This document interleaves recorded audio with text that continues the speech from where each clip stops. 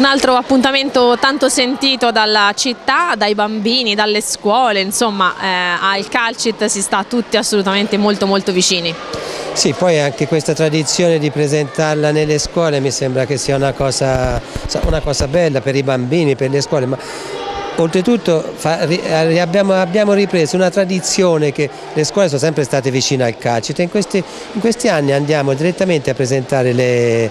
il mercatino proprio nelle scuole, ogni anno ovviamente una, non c'è un ordine né di merito né cronologico, quest'anno siamo alla Curina che è una delle, delle scuole più, diciamo, più vecchie eh, che, con cui ha collaborato il Cacit. Le novità ce ne sono tante, ora non ci sono novità eclatanti, però per esempio c'è l'ognomo falegname che quest'anno, che è un percorso che avete visto anche negli anni precedenti, che quest'anno faranno il lavoro direttamente lì, poi ci sono sempre gli stand dei cinghialai, dei panificatori, dei maciai che bisogna sempre ricordarsi del sacrificio che c'è dietro a queste persone che poi magari il, do, il lunedì dopo devono andare a fare un'altra, sicché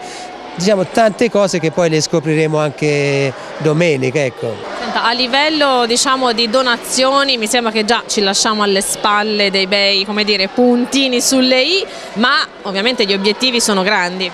Sì, dunque intanto le donazioni che abbiamo fatto devono avere una sua inaugurazione ufficiale e la faremo. Abbiamo messo in evidenza questa eh, strumentazione di avanguardia nella, nella prevenzione del tumore al seno che è la tomosintesi, pensate che in pochi centri pubblici, magari privati ce l'hanno, ad Arezzo è già funzionante e perciò anche qui faremo, anzi